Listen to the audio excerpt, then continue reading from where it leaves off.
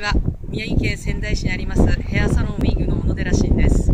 今日は YouTube 投稿5回目になります。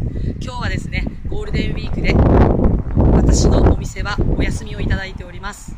今日の3日から6日水曜日までお休みをいただいております。ですので今日は私のいつものお休みの格好の私服です。すいませんこんな感じで。今日はですねと宮城県にあります道のくもりの湖畔公園の近くに来ております。大自然が近くに5月なので綺麗な緑が映っていると思います。